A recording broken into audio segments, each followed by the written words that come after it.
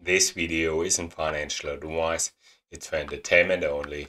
And today I present you a strong constructions turnaround stock, BlueLinx. And as you can see, BlueLinx has been in a correcting phase here. And we marked the last low with that correction around April last year when we started to reverse from that low and we traded strongly to the upside and developed a way strong new uptrend in the stock. And when you look closer at the recent price action overall, I mean, we came back here to the 250 day line and we had a nice bounce. And now it looks like we are building a base here.